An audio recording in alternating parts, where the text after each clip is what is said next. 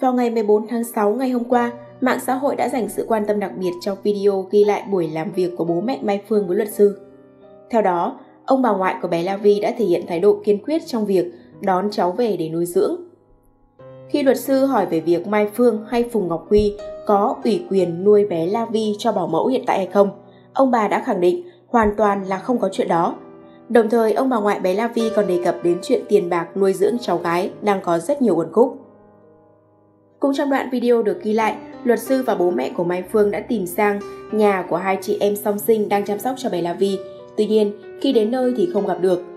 Trao đổi với luật sư, ông C, bố của Mai Phương khẳng định không muốn làm lớn chuyện, chỉ mong đón bé La Vi để vui tuổi già. Hai vợ chồng ông bà không chấp nhận để giọt máu duy nhất để người khác chăm. Trong khi bé đang được bố đẻ, ca sĩ Phùng Ngọc Huy giao toàn quyền cho hai bảo mẫu. Trước sự việc căng thẳng này, một trong hai vú nuôi của bé La Vi đã lên tiếng. Thông qua mạng xã hội, cô cho rằng mọi việc được đưa ra pháp luật một cách đầy đủ, đồng thời chia sẻ lại bài viết của diễn viên Thúy Hạnh về hành động của bố mẹ Mai Phương.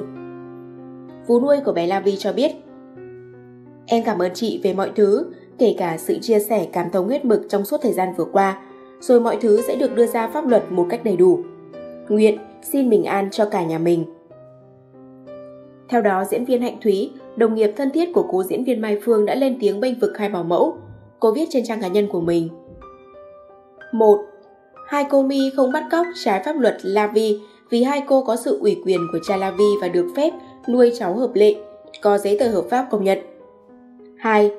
Ông bà nói ông bà thương cháu nhưng suốt thời gian vừa qua khi cháu ở với hai cô Mi từ khi mẹ cháu mất cho đến giờ, trừ một lần ông đến đưa tiền, lúc Phương mới mất nói là để lo cho bé La Vi, nhưng cô Mi vẫn không cầm.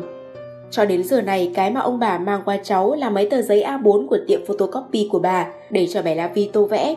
Hết, lần nào thăm cháu cũng kỳ lạ, hoặc là lén lút, hoặc là kéo cả chục người đến rồi ngồi ở ngoài nhà cô Mi. 3. Đã ra phường tố cáo cô Mi vài lần về việc bắt cóc, nhưng phường không can thiệp bởi vì đơn giản công an họ quá hiểu sự việc và biết sự thật của sự việc, cũng như biết được sự quấy rối của ông bà với hai cô Mi và gia đình dành tình thương cho cháu. 4. Trong suốt clip chỉ thấy vấn đề tiền bạc và tài sản được ông bà nhắc đến, ông bà không lo cháu ăn ở ra sao, sức khỏe thế nào, học hành và giáo dục. Liệu bạn có thấy vấn đề ông bà đang quan tâm La Vi hay thực sự chỉ quan tâm đến tiền? 5. Ông bà đã rất nhiều lần qua thăm cháu, chụp hình với cháu và đăng Facebook hẳn hoi, cười hí hớn với cháu mà nói là cháu bị các cô bắt giữ trái pháp luật thì có quá khiên cưỡng hay không? 6. Ai lên Facebook cô Mi đều biết cô đã gắn bó với con như thế nào, gần như ngày nào Facebook của cô cũng nhắc lại ngày xưa hai cô cháu như thế nào, từ khi cháu một tuổi cho đến tận bây giờ. Lúc nào cũng là tình yêu thương, là vui vẻ và cho đến tận bây giờ vẫn vậy liệu rằng bà không thấy vui vì cháu mình được yêu thương hay sao?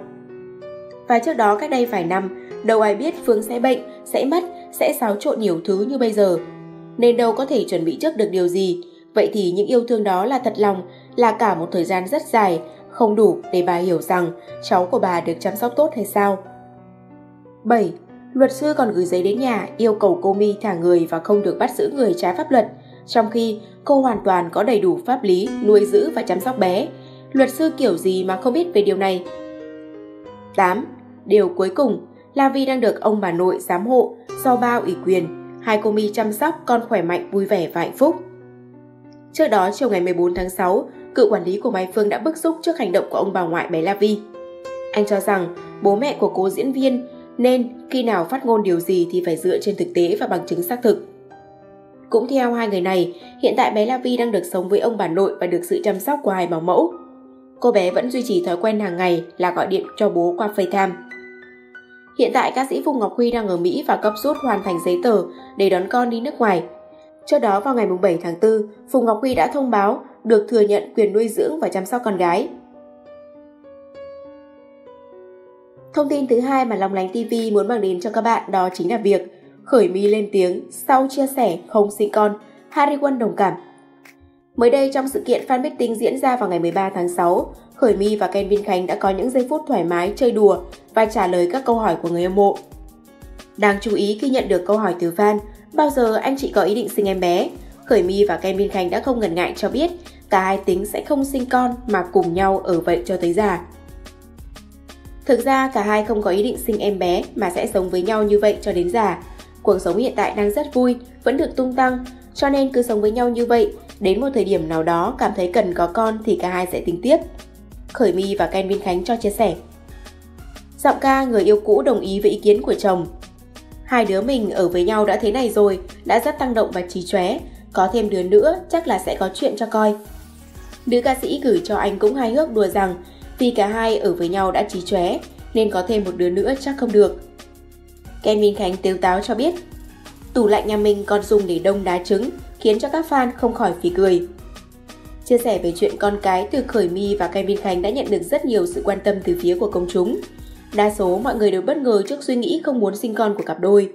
Tuy nhiên, đều bày tỏ sự tôn trọng vì cuộc sống là của riêng mỗi người.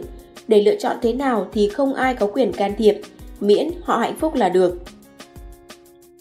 Sau khi khiến cho dư luận dậy sóng, Khởi My mới đây đã có chia sẻ trên fanpage hơn 10 triệu like của mình dòng trạng thái rằng Hôm nay tự nhiên mở mắt dậy, thấy mình lên báo nhiều ghê, mà tụi mình trả lời câu hỏi cho các bạn fan chứ đâu có tự nhiên tuyên bố.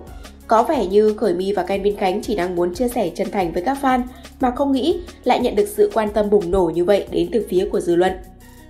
Đáng chú ý, bên dưới bài đăng của Khởi My, Harry Quân cũng để lại đồng cảm rằng Thương em, nhiều người cho rằng Harry Quân đồng cảm với Khởi My bởi vì cô và ông xã Trấn Thành cũng là những người có tư tưởng thoáng trong việc sinh con, không quá đặt nặng vấn đề này mà chỉ cần duy trì cuộc sống hôn nhân gia đình hạnh phúc. Được biết, ông xã của Harry Quân là MC Trấn Thành cũng đã từng có chia sẻ sâu sắc về vấn đề con cái.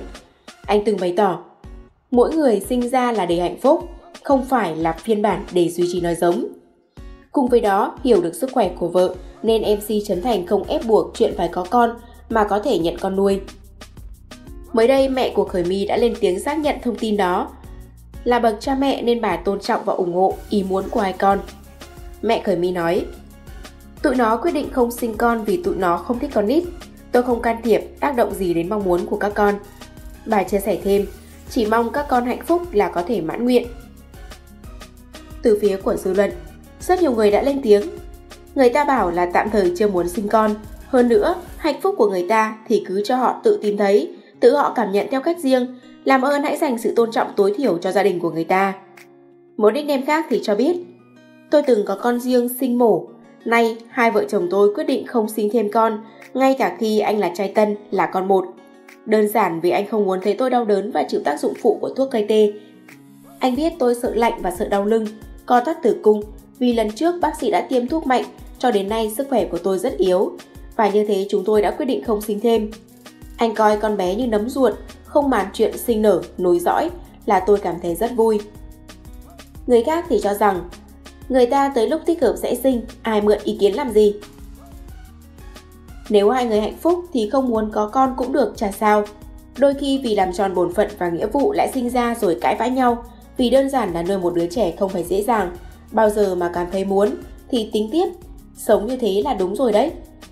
Một số ý kiến khác thì cho rằng Khởi My và Ken Vin Khánh đang rất không có trách nhiệm đối với gia đình và đối với bản thân của mình. Bây giờ có thể là ham vui, nhưng tương lai chuyện con cái rất quan trọng. Hy vọng họ sẽ thay đổi ý định của mình.